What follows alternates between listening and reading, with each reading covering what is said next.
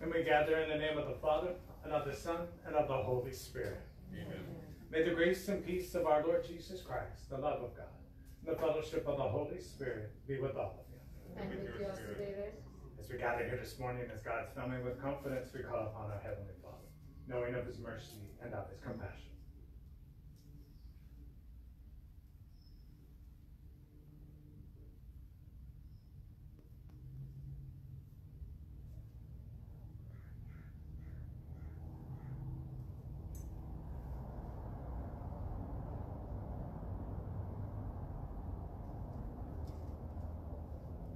Lord, you are the way, the light, and the truth. Lord, have mercy. Lord, have mercy. Christ Jesus, you call us to be a visible sign of your love. Christ, have mercy. Christ, have mercy. Lord, you will come again in all your glory. Lord, have mercy. Lord, have mercy. May Almighty God have mercy on us, forgive us of our sins, and bring us to everlasting life. Amen. Amen. And let us pray.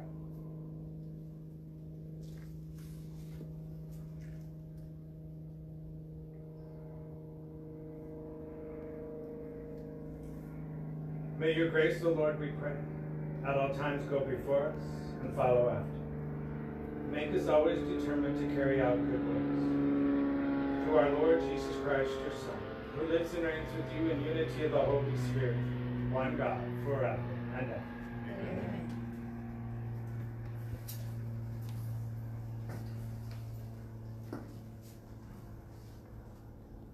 A reading from the first letter of St. Paul to the Corinthians. Brothers and sisters, if Christ is preached, Get a little closer. let's try that again.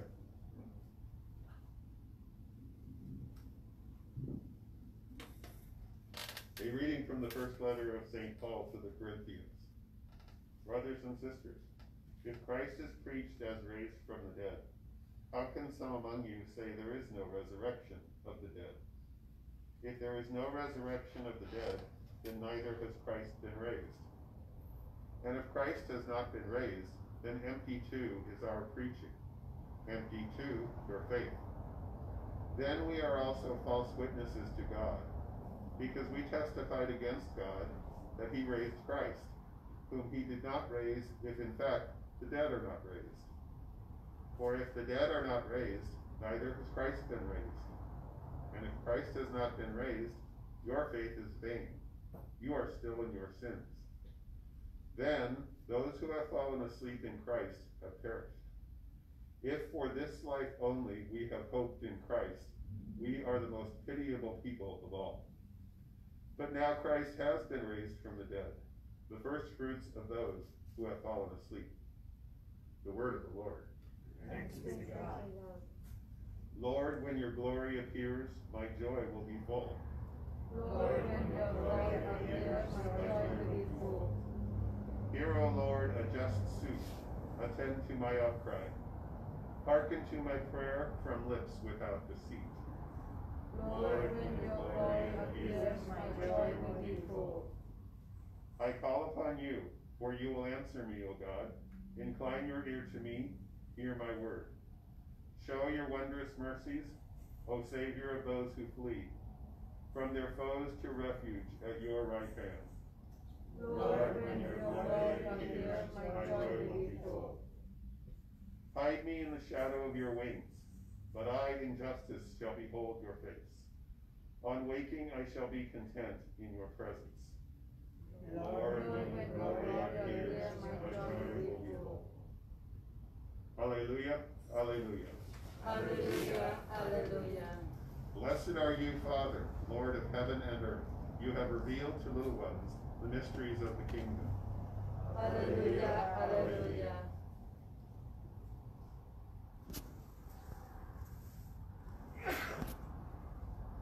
And the Lord be with you. And with your spirit. A reading from the Holy Gospel according to Luke. Glory to you, Lord.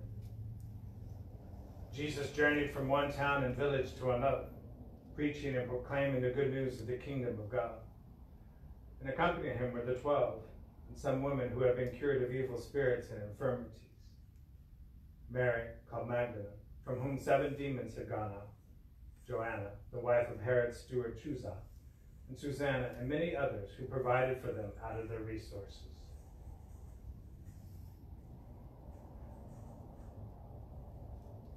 The Gospel of the Lord. Praise to you, Lord Jesus Christ.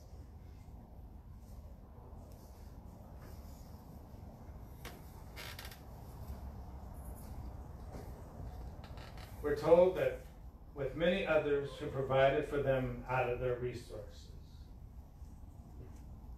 Surely the Son of God, God Himself, could have taken care of Himself. Many others who provided for them out of their resources. If Jesus needed the service of others, we who are His disciples or followers certainly need the services of others as well. we are called to be a service to one another.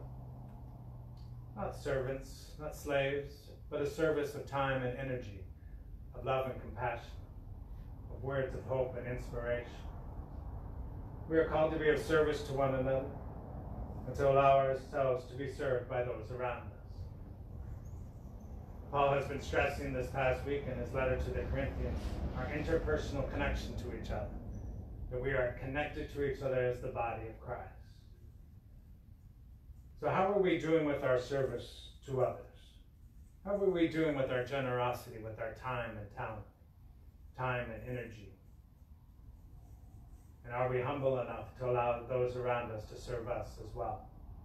To acknowledge that maybe we don't have it all put together, that we don't have everything within ourselves, that we truly need to be dependent upon one another. Paul tells the Corinthians, and I think our pandemic tells us today very clearly how we can be generous to one another and how we need to be humble enough to allow those around us to serve us.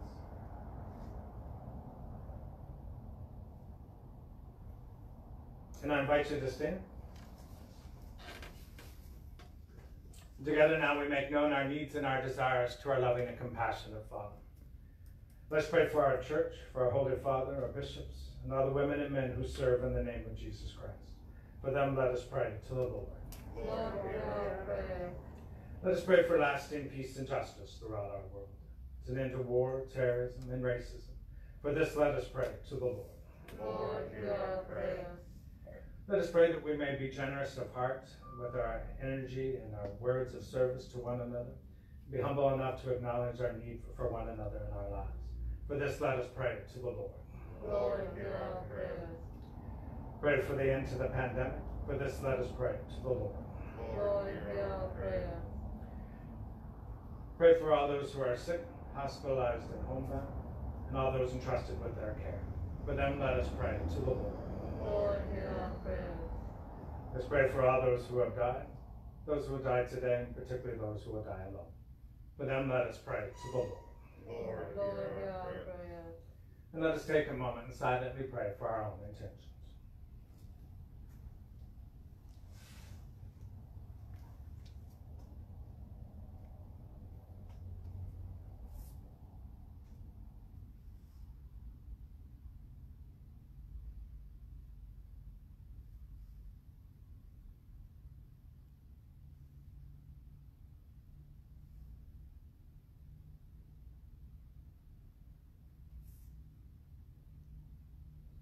And we pray for all our intentions, including the intentions for Chrysostomo Ariandia, and Teresita Apostol, and Ronald Regan. For this, let us pray to the Lord. Lord, hear our prayer. Good and gracious God, we make known to our needs and our desires. Those we speak aloud and those we speak in the silence of our hearts. We ask that you grant them, for we ask them through Christ our Lord. Amen.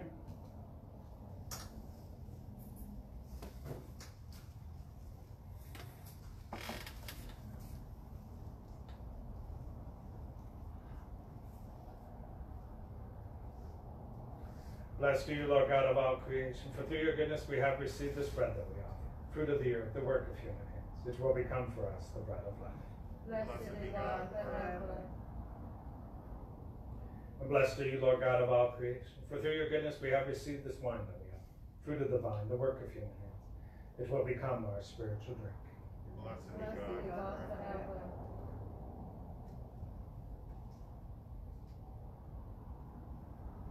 Pray, my sisters and brothers, that my sacrifice and yours may be acceptable to God, the Almighty Father. For the Lord has set his sacrifice in your for the praise and glory of his name, for our good and the good of all God's holy church. Accept, O Lord, the prayers of your faithful, with the sacrificial offerings, that through these, the acts of devotedness, we may pass over to the glory of heaven. Through Christ our Lord. Amen. The Lord be with you. And with your spirit, Lift up your hearts. we lift them up to the Lord. Let us give thanks to the Lord our God. It is right and just. It is Almighty and eternal God.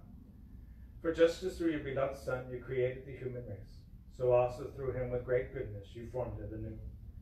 And so it is right that all your creatures serve you, and all the redeemed give praise to you, and all your saints with one heart bless you. Therefore we too extol you with all the angels, as in joyful celebration we now acclaim. Holy, holy, holy Lord, God of us, heaven and earth are full of your glory. Hosanna in the highest. Blessed is he who comes in the name of the Lord. Hosanna in the highest. You are indeed holy, O Lord, the fount of all holiness. Make holy, therefore, these gifts, we pray, by sending down your Spirit upon them like the dewfall, so that they may become for us the body and blood of our Lord Jesus Christ. The time he was betrayed and entered willingly into his passion, he took bread and giving thanks, broke it, gave it to his disciples, saying, Take this, all of you, and eat of it, for this is my body, which will be given up for you.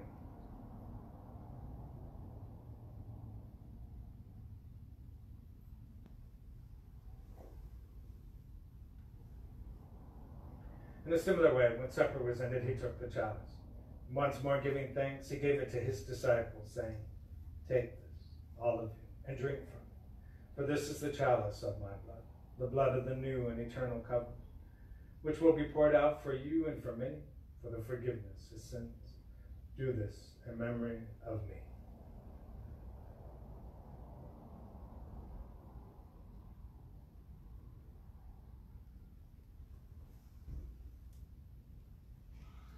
And let us proclaim the mystery of our faith. Save us, Savior of the world, for by your cross and resurrection you have set us free.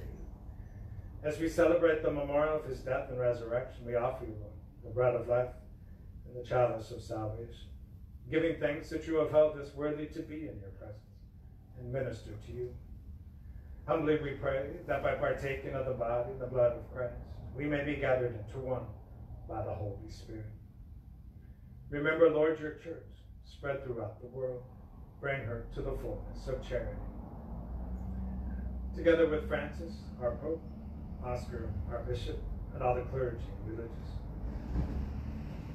Remember also our sisters and brothers who have fallen asleep in the hope of the resurrection. and all who have died in your mercy. Welcome them into the light of your face. Have mercy on us all. We pray that with the blessed Virgin Mary, Mother of God, with the blessed Joseph, her spouse, with the blessed apostles, and all of the saints who have pleased you throughout the ages, we may merit to be co-heirs to eternal life.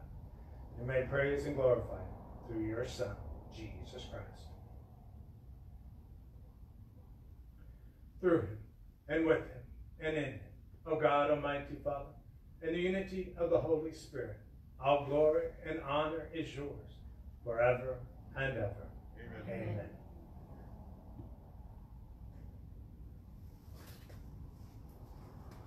Together now, let us pray for the coming of God's kingdom as Jesus does.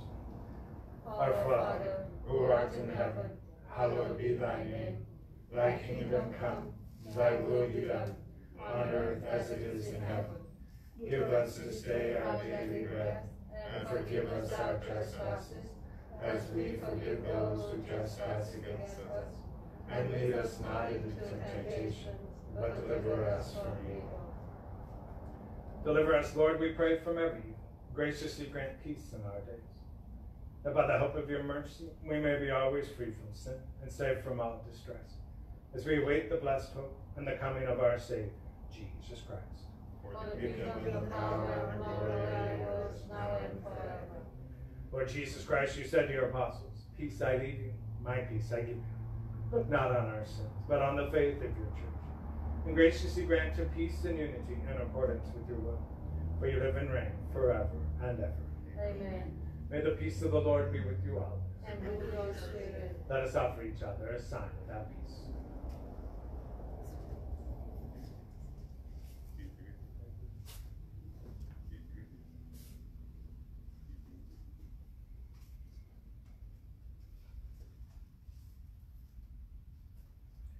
Lamb of God, You take away the sins of the world. Have mercy on us. Lamb of God, you take away the sins of the world.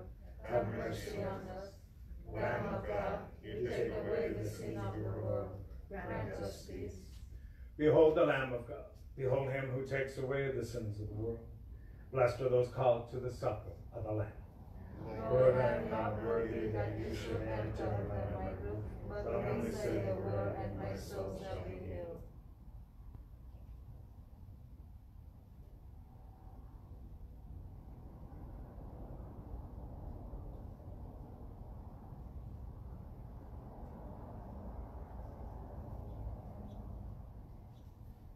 And I invite you to be seated at this time.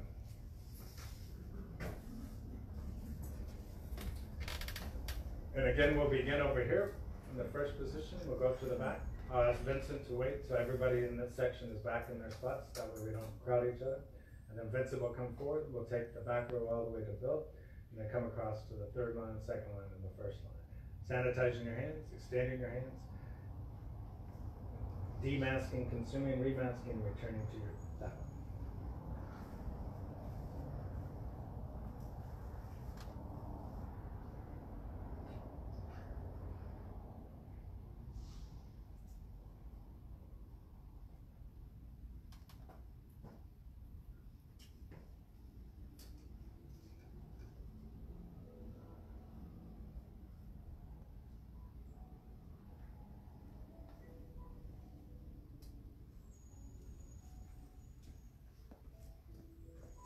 The body of Christ.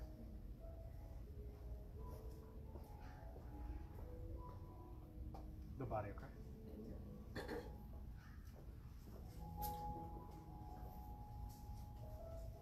The body of Christ.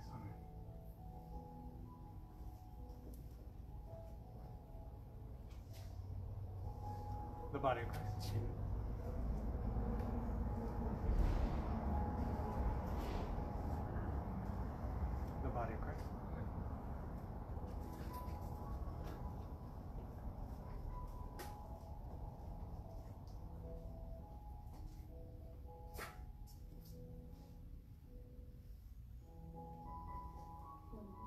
Not yet.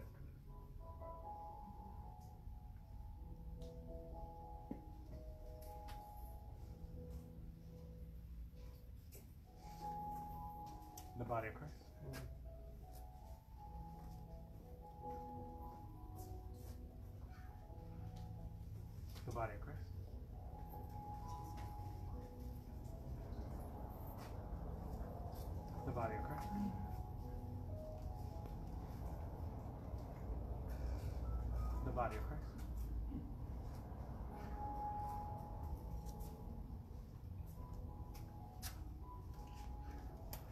Body of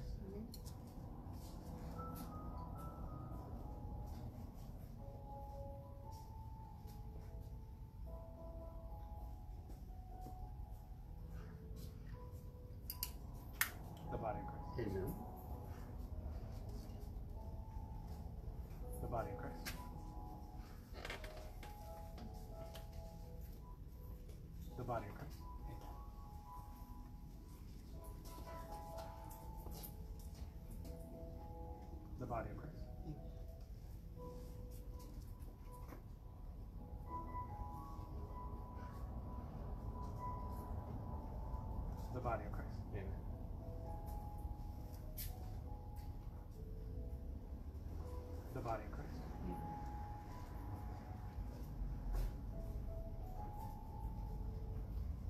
The body of Christ.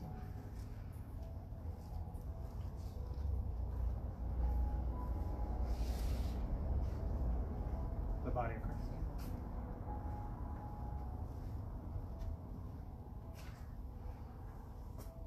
The body of Christ.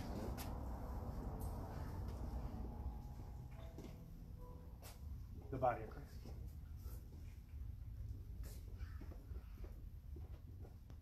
The body of Christ.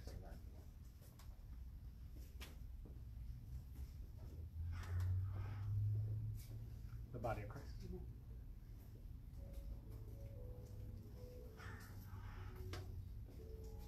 The body of Christ.